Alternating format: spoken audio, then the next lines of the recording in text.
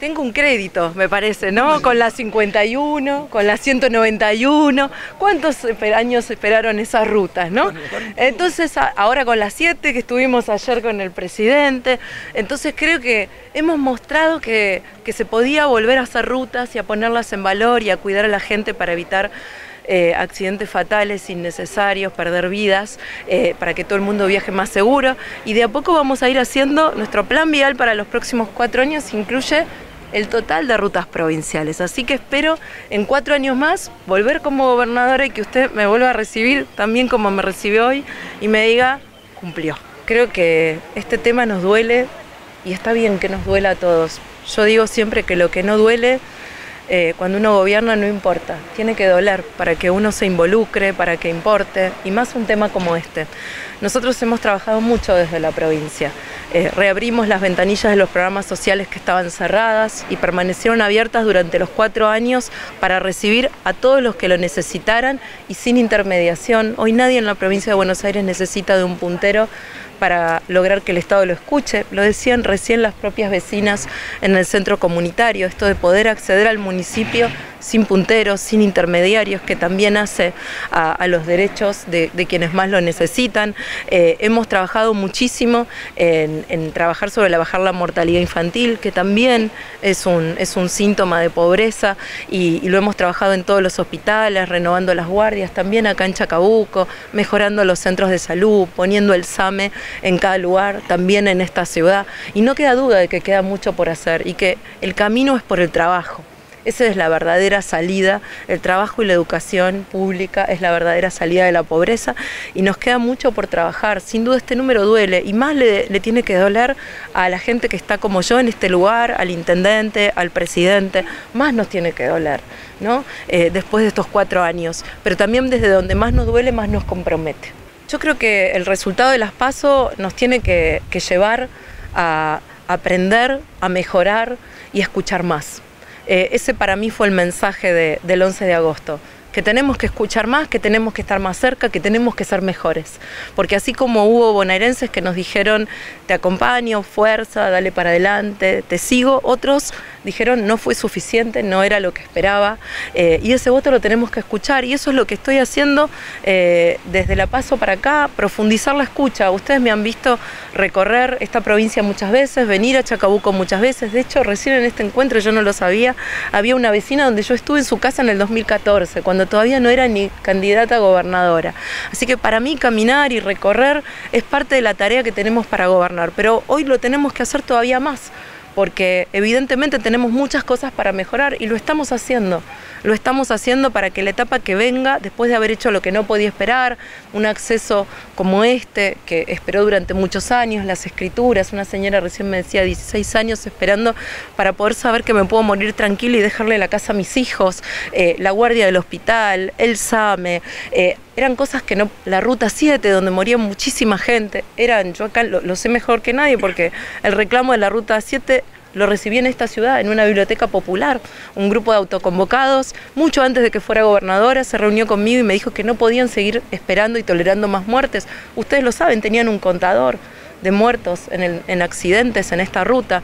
Bueno, finalmente eso se va logrando. Entonces, bueno, tenemos otros desafíos. Hoy el desafío es el trabajo, es el salario, es que la gente llegue a fin de mes sin tantas preocupaciones y vamos por eso.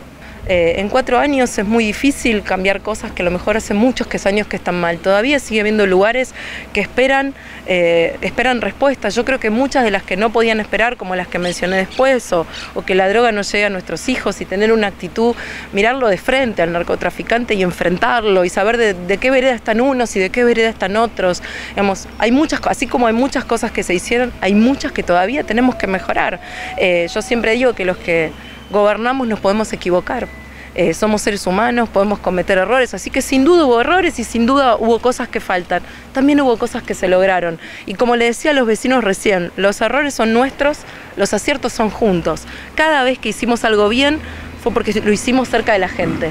Eh, más allá de que Víctor haya puesto en marcha estas obras en este barrio eh, y las haya terminado y la provincia haya puesto los recursos para que él pudiera hacerlas, es la gente del barrio la que hizo esto, sin darse por vencida nunca, ni con el asfalto, ni con la luminaria, ni con ahora el gas, que está llegando al barrio, 10 años esperando el gas, más de 15 años esperando las escrituras y no dejaron de reclamar, no se dieron por vencidos. Así que si ellos no se dan por vencidos, mucho menos yo con esta responsabilidad que tengo. Bueno, sin duda la inflación eh, siempre enemiga de todos y, es, un, es el peor de los impuestos, ¿no? Y siempre lo pagan los que menos tienen. Ustedes lo saben muy bien, en el último, en el último año y medio subieron mucho los alimentos, que, que no es algo que uno puede elegir comprar o no. Y, eso afectó a muchas familias a las que les cuesta llegar a fin de mes. Eh, y nosotros tenemos que ser conscientes de eso y acompañar. En la provincia hemos acompañado con el 50% del Banco Provincia de descuento una vez por mes en la compra de, alimentos. Hemos acompañado reforzando eh, toda la asistencia social, no solo en Chacabuco, sino a lo largo de toda la provincia. Eh, hemos acompañado aumentando el monto que reciben los comedores escolares, tanto en el mes de septiembre, que ya se cobró, y en octubre vamos a volver a hacer un aumento. Para los trabajadores del gobierno de la provincia, en el caso de los docentes, hemos adelantado la cláusula gatillo para que cobren ahora en octubre y estén al día con la inflación y no se retrasen, para los que no son docentes con el bono. Hemos trabajado todo el tiempo para que eh, ese, bolsillo se vea más aliviado, pero sin duda lo que hay que hacer de fondo es este, sacar la inflación, ¿no? bajar la inflación, que es lo que más influye en la pobreza. Primero es importante que la gente sepa que el 27 de octubre, tanto en el caso de Víctor como en el mío, se elige intendente y gobernadora sin segunda vuelta. Acá no hay balotaje, ya no es una paso, ya no es una primaria, es el momento de decidir, eh, muy importante para cada bonaerense, quién lo va a gobernar en los próximos cuatro años en la provincia y para cada vecino de Chacabuco, quién lo va a gobernar perdón, en esta ciudad. Eh, y, la decisión es de cada uno, ¿no? Eh, y nosotros no la subestimamos es adentro de cada escuela, en cada urna, los que cada uno de ellos deciden. Y después es una falsa contradicción si es una campaña municipal, provincial o nacional. Víctor es una campaña municipal y está muy bien porque él es el candidato a discutir lo que se va a hacer en la ciudad de Chacabuco. Yo tengo que hacer una campaña provincial porque represento eh, a un espacio para gobernar la provincia de Buenos Aires y Mauricio tendrá que hacer una campaña nacional, ¿no? Y de eso se trata, pero lo que nos unen son los mismos valores. Nos une el diálogo, nos une el trabajo, nos une la cultura del esfuerzo, nos une la honestidad, nos une respetar las diferencias, vivir en, querer vivir en paz, estar de un lado eh, opuesto a, a las mafias. Nos unen muchísimos valores, más allá de que tenemos los tres roles distintos, y está bien que así sea, tanto en el gobierno como en una campaña electoral.